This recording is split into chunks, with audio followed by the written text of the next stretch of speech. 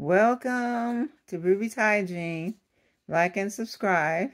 Share uh, with others.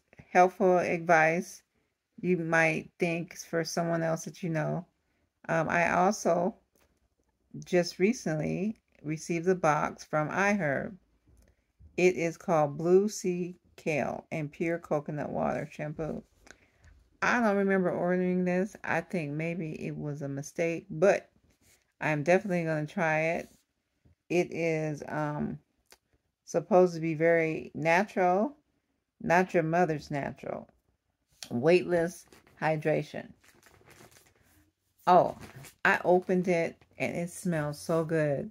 I thought it was going to be like um, medicated or, you know, sea kelp. Like it didn't seem like it would smell that good. But it smells really good. Now, this one is called G J.R. Watkins. It's been around for a while. Men's Homies Body Wash Moisturizing Cleanser. This. I smelled the other one, which I'm going to show in the other, other one, the other video I'm making. But this, oh my goodness. I remember this being in my grandma uh, mother's uh, cabinets and stuff like this. So it brought back a lot of memories, just the way the bottle looks.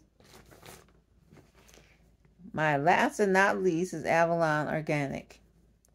Revitalizing Peppermint Bath and Shower Gel. This.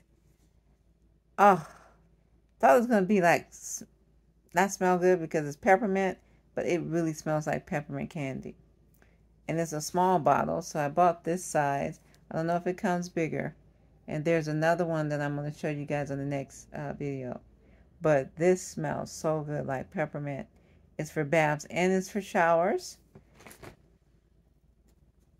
I just hope that you're having a wonderful holiday and, you know, set goals for next year.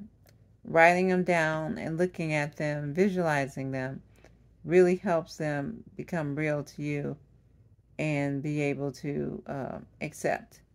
You know, our lives is constantly changing and we have to be open to those changes and that's not always easy.